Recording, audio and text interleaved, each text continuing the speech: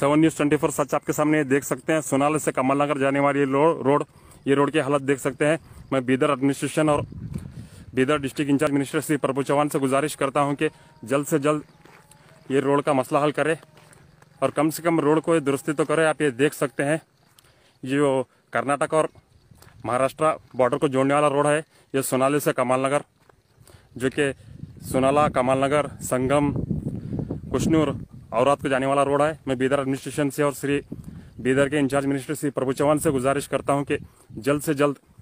ये रोड की मरम्मत करें और यहाँ के किसान भाइयों को राहत पहुँचाएं